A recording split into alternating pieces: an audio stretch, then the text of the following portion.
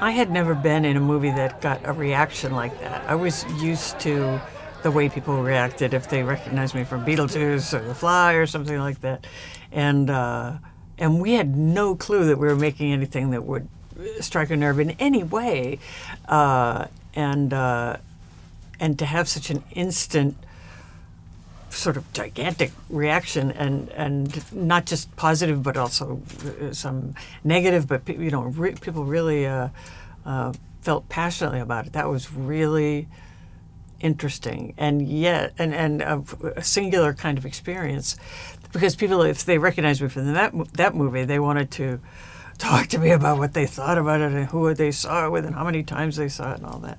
And uh, uh, uh and and yeah, and a lot of the press was saying, "Okay, this changes everything," and uh, I was thinking that's that's great, and it also really dramatically changed my life because I thought, wow, we give women so few opportunities to feel like this coming out of a movie because they identified with the female characters, you know, they felt in, excited and inspired by the female characters.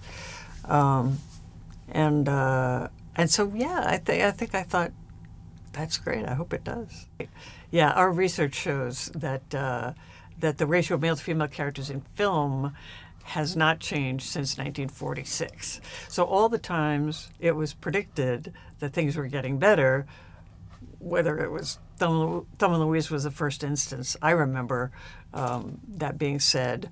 And then my next movie, League of Their Own, oh, this changes everything.